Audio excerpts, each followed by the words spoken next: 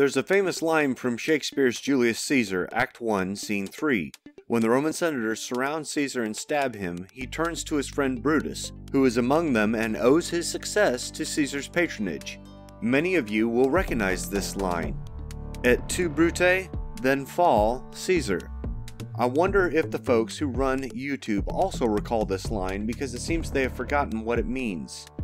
I know that I will suffer for this, but it's time for some roasted opinions.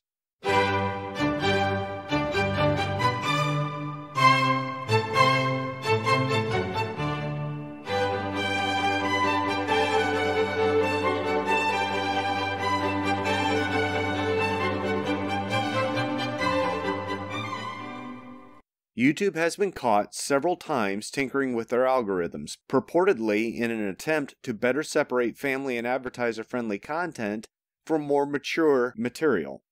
I don't blame them for trying. It is a business, and advertising is their primary revenue stream.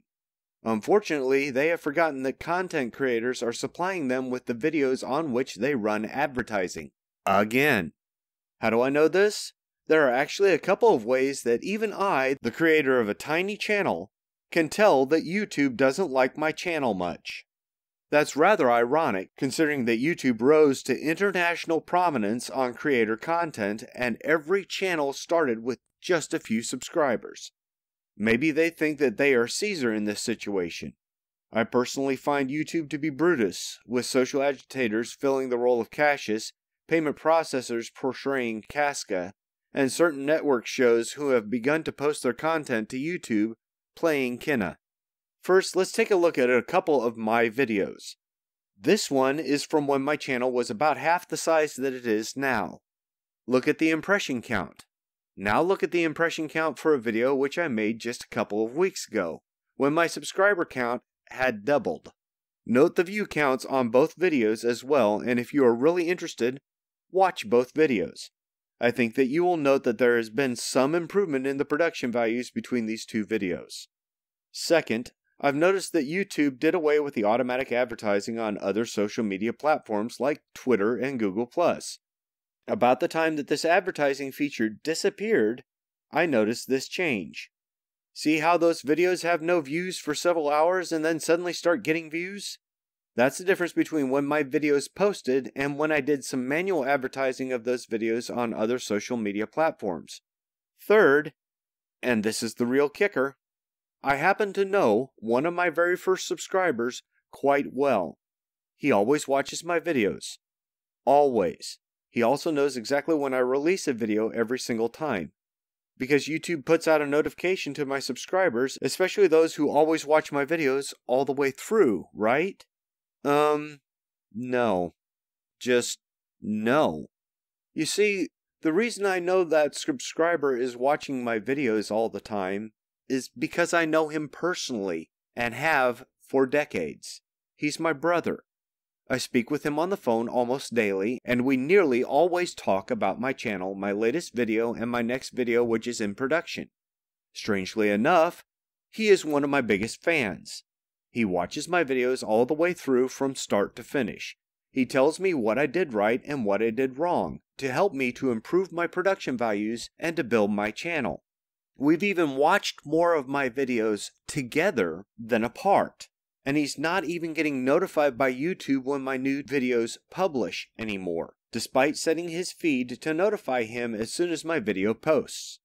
I nailed it, relatively speaking, for my channel a while ago when I made a video about Patreon.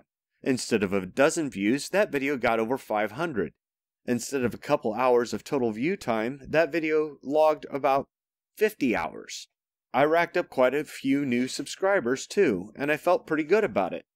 Inspired, really, which is why I worked even harder to improve my production values.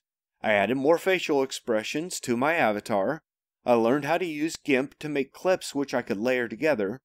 I tweaked how I record my voiceover so that I would have better audio to go with my content. I needed to up my game to keep growing, right? I thought that I was on my way. Funny old world, isn't it? Someone noticed because I'm not getting a proportionate increase in impressions as my subscriber count goes up. Because I'm not getting views on newer, better content until I shill it repeatedly on other platforms. because I have to tell the most active consumer of my content that a new video has posted instead of him getting a notification from YouTube and calling me. I've also been hit twice by copyright claims, a complaint that so many other channels have faced. Why is YouTube allowing claim bots to snatch up videos from small, unmonetized channels, either to place ads that the channel can't otherwise run and for which there will be little AdSense revenue, or to block the content of an original creator with just a few subscribers in favor of a channel with millions. Yes, this really happened to me. I've had a video claimed for monetization by Warner Media Group because I used a song which I downloaded from a public domain archive. If and when I start using music which isn't in the public domain or available for free use, then I will obtain permission to use it from the copyright holder and agree a reasonable compensation for its use. I've also had a video claimed and blocked by The Daily Show because I featured a clip which I captured for commentary under fair use. Now, just to be sure that I gave credit to the source of that video clip, I left their infographic on the bottom of the video.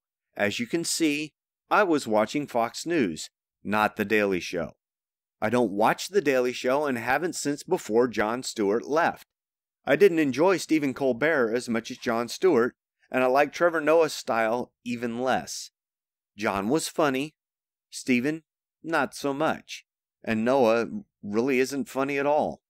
Perhaps The Daily Show believes that their fair use of the same clip from the same source grants them copyright over the clip. Or perhaps they're afraid of competition from channels less than one ten thousandth of their size.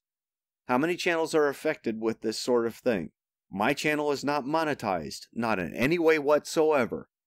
How many other channels, bigger channels, have actually been monetized or close to finally meeting YouTube's standards for monetization and yet cannot get the views they need to meet all of the standards which YouTube requires and make a little spare change? I'm a long way off from reaching monetization, but I'm just getting started. My channel isn't a year old yet. If I can make impressions proportionate to the size of my audience, then I could grow faster. I might even hit monetization levels and be able to start getting paid for what is still just a serious hobby. Maybe my content isn't good enough yet, but my like to dislike ratio seems to indicate that it isn't that bad either. I would take the Pepsi challenge against other commentary channels, and I bet that I could hold my own as far as production values and content quality against more than a few of them. Then again, there are many who make better content than mine too, and I would certainly like to learn from them.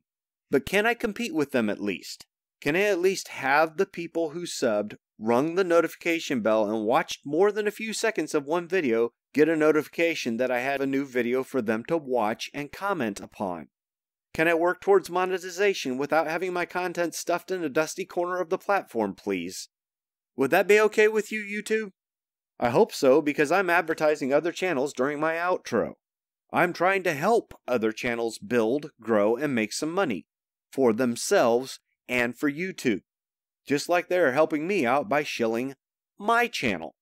YouTube just put out a survey to their creators, giving them a chance to supply some feedback directly and privately. I would like to think that the method of contacting us was more about getting direct feedback. I honestly don't know though. I hope that YouTube is listening because it's just a matter of time until someone else creates another viable platform like YouTube. Perhaps that platform already exists. There wasn't much of a gap between the creation of MySpace and its displacement by Facebook, after all. There's no need to suppress channels, especially if the only reason for doing so is sociopolitical differences.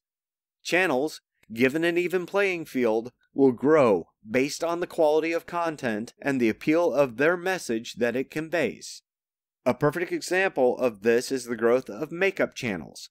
Another is the plethora of successful commentary channels out there. Carl Benjamin and creators like him have faced a lot of challenges, but when their content isn't in violation of community guidelines, YouTube cannot simply ban them. They are too big and too many. A class action lawsuit would cost YouTube enough that Alphabet Incorporated stock would tank, and I think YouTube knows this. Instead, we've seen at least two adpocalypses and suppressions of views, rumors of automatic unsubbing, and the removal of features which help creators to plug their videos when they release them. True, YouTube has added the Premiere feature, but premieres have serious drawbacks for smaller channels. Scheduling a premiere for a slot in prime time puts small channels head to head with major channels, which undoubtedly will limit viewers for the small channels during the premiere. Big deal? Premiere is designed to incorporate the features of a live stream and a video, including live chat and super chats. Again, that's great for larger channels. But imagine for a moment that your channel has less than a thousand subscribers. A premiere on such a channel might not attract many viewers. Small creators might find that they have few or even no viewers tuned into their premiere, which would be pretty discouraging for a lot of them. So they skip the premiere, but if they don't manually shield their channel on multiple platforms, they won't generate any views at all. I also discovered something else when I was researching notifications. When you are done watching this video, click on the Settings tab and check your notifications. If you don't have Google Chrome turned on, then you will miss that notification. Evidently, when the shield option disappeared, YouTube seems to have reset notification settings, intentionally or unintentionally. Fortunately, there is a solution. If this, then that, an app which contains tens of thousands of applets from which creators can choose to replicate the advertising features which YouTube just removed. Small channel creators, we can survive this. And YouTube? Stop trying to kill small channels. Let us grow. Let us reach monetization and make you some money. Now, that's just my opinion. Comment below to share yours. If you like this video, give it a thumbs up and share it, and then check out my other videos and these channels I have subscribed for more great content. Subscribers, make sure that you check your YouTube settings if you want to be notified and ring that bell.